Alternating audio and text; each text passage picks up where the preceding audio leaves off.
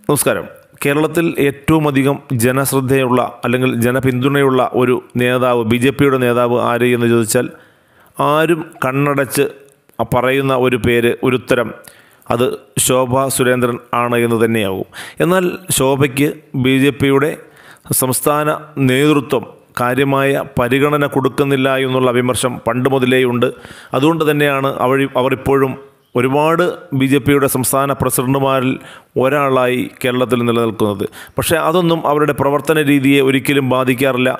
പലപ്പോഴും അവർക്ക് കിട്ടുന്ന അവസരങ്ങൾ അവർ മാക്സിമം യൂട്ടിലൈസ് ചെയ്യാറുണ്ട് എന്നുള്ളത് സത്യമാണ്. ജനങ്ങൾക്കിടയിലേക്ക് ഇറങ്ങിച്ചെന്ന് പ്രവർത്തിക്കുന്ന ഒരു പ്രവർത്തക കൂടിയാണ് ശോഭാ സുരേന്ദ്രൻ.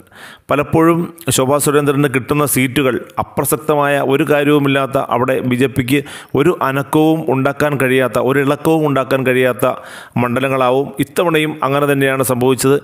ബി ജെ പിക്ക് വേണ്ടി ശോഭാ സുരേന്ദ്രൻ ഇത്തവണ കളത്തിലിറങ്ങില്ല എന്നുള്ള പ്രചാരണം വരെ ശക്തമായി നിലനിൽക്കുകയാണ്. ആലപ്പുഴ പോലെയുള്ള ഒരു മണ്ഡലം B J P Shobha Surendran നൽകുന്നത്. പക്ഷേ അവർ ആലപ്പുഴയിലേക്ക് എത്തിയപ്പോൾ അവിടെ വിപ്ലവം രചിക്കാൻ കഴിഞ്ഞു എന്ന് തന്നെ പറയേണ്ടി വരും. ആലപ്പുഴ പോലെയുള്ള ഒരു മണ്ണ് ബി ജെ പിക്ക് ഒരിക്കലും വളക്കൂറുള്ള മണ്ണല്ല. പക്ഷേ ശോഭാ സുരേന്ദ്രൻ അവിടേക്ക് എത്തിയപ്പോൾ അവിടെ വെള്ളാപ്പള്ളി അടക്കമുള്ള ആളുകൾ പിന്തുണയുമായി എത്തുകയും ശോഭയ്ക്ക് വലിയ തോതിലുള്ള ഒരു പിന്നെ സ്വീകാര്യത അവിടെ ലഭിക്കുകയുണ്ടായി. അതിലേറ്റവും അധികം സ്വീകാര്യത അവർക്ക് ലഭിച്ചത് സ്ത്രീകളിൽ നിന്നാണ്. അങ്ങനെ സ്ത്രീകളിൽ നിന്ന് ആ ഒരു പിന്തുണയോടുകൂടി വലിയ തോതിൽ ശ്രദ്ധിക്കപ്പെടുന്ന ഒരു മണ്ഡലമാക്കി മാറ്റുവാൻ ആലപ്പുഴ ആലപ്പുഴയെ ഒരു മണ്ഡലമാക്കി മാറ്റുവാൻ ബി ജെ പിക്ക് അംഗീകാരം ലഭിക്കുന്ന തരത്തിലുള്ള ഒരു മണ്ഡലമാക്കി മാറ്റുവാൻ ശോഭാ സുരേന്ദ്രന് കഴിഞ്ഞു. അതുകൊണ്ട് തന്നെ ഇത്തവണ K C K C Venugopal അല്ലായിരുന്നു അവിടെ മത്സരാർത്ഥിയായി വന്നിരുന്നതെങ്കിൽ തീർച്ചയായിട്ടും അവിടെ വിജയിക്കാൻ കഴിയുന്ന ഒരു സ്ഥാനാർത്ഥിയായി തന്നെ ശോഭാ സുരേന്ദ്രൻ വളർന്നു കഴിഞ്ഞിരുന്നു എന്ന് വേണമെങ്കിൽ പറയാം.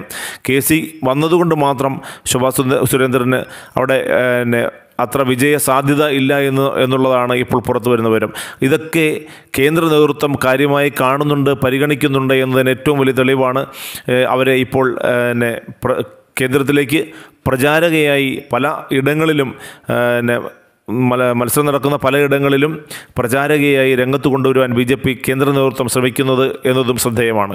കേരളത്തിൽ നിന്നും മൂന്നോ നാലോ നേതാക്കൾ മാത്രമേ അങ്ങനെ പ്രചാരകരായി കേന്ദ്രത്തിന്റെ പ്രചാരകരായി എത്തിയിട്ടുള്ളൂ. അതിലൊന്ന് സുരേ കെ സുരേന്ദ്രൻ സംസ്ഥാന പ്രസിഡന്റ് എന്ന നിലയിൽ കെ സുരേന്ദ്രനാണ്. മറ്റൊന്ന് സുരേഷ് ഗോപിയാണ്. മൂന്നാമത് എത്തിയിരിക്കുന്നത് ശോഭാ സുരേന്ദ്രനാണ്.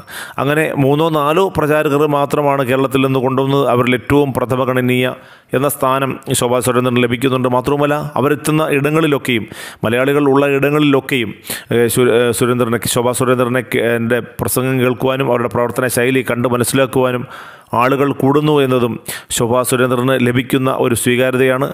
അതുകൊണ്ട് തന്നെ ഈ തെരഞ്ഞെടുപ്പിന്റെ വിധി വന്നു കഴിയുമ്പോൾ കേരളത്തിൽ ഒരു തെരഞ്ഞെടുപ്പ് അവർ അവർ ഔദ്യോഗികമായ ഒരു തെരഞ്ഞെടുപ്പ് ബി ജെ പി പാർട്ടി തെരഞ്ഞെടുപ്പ് നടക്കുക നടക്കാൻ പോവുകയാണ്. അതിൽ ശോഭാ സുരേന്ദ്രൻ പ്രസിഡന്റായി തിരഞ്ഞെടുക്കപ്പെടും എന്ന് വിശ്വസിക്കുന്നവർ നിരവധിയാണ് എന്ന് തന്നെ പറയാം. ശോഭാ സുരേന്ദ്രന് ഇപ്രാവശ്യം പ്രസിഡന്റ് സ്ഥാനം കിട്ടും എന്ന് തന്നെയാണ് കേന്ദ്രത്തിൽ നിന്നുള്ള നേതാക്കളിൽ കേന്ദ്ര നേതാക്കളിൽ നിന്നും ലഭിക്കാൻ കഴിയുന്നതും.